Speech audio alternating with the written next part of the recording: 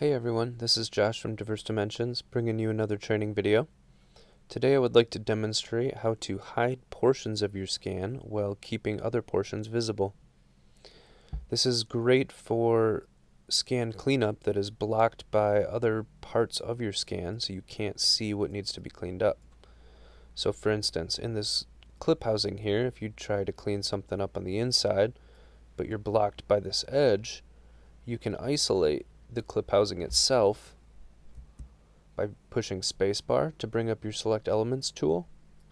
Highlight the portion of your scan that you'd like to keep. Spacebar again and then hit control K for keep.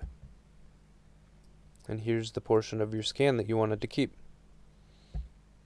After you've done your scan cleanup and would like to return your complete scan, you can navigate over to your tree view here, select your scan, and then hit Control R for return. And now your scan is back. Thanks for watching another one of Diverse Dimensions training videos.